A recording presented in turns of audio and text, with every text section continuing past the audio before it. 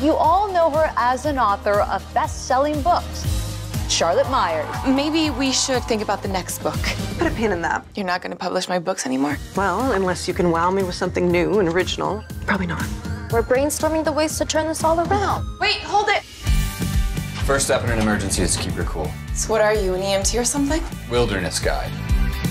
So your strength comes from your whole torso, not just your arms. A city girl and the wilderness guide. That sounds like a great idea for a book. I need a teacher, and that teacher could be you. 30 days in the wilderness of northern Minnesota. I love it. Hello! Welcome. Thank you. Lose the high heels, maybe? Yes, boss. See you always like that? Yes. Are you ready for your next lesson? Sure am. I haven't been fishing since I was 10. I used to love it. Why does that surprise me? I'm from Idaho, from a very outdoorsy family. I was a force to be reckoned with. I can't stop looking at this beauty. And it never gets old either. You started your first flyer. Go. Oh, come on. Thank you for being my guide. Teaching you one-on-one -on -one has been great. It's our last night, so uh, I just thought we could make it special. That's very sweet. I should probably go in. Yeah.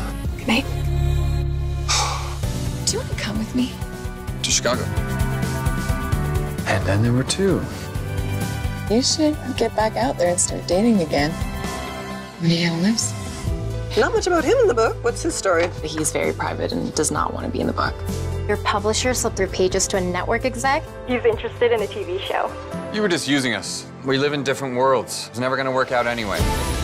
He's taught me some of the most amazing things. And that's what you need to write about. Like ships to the lighthouse, we found our way to one another. You read the book? I have to find Rob. There's one seat left to Chicago. I love you. I'll shout it to anyone who cares to hear it.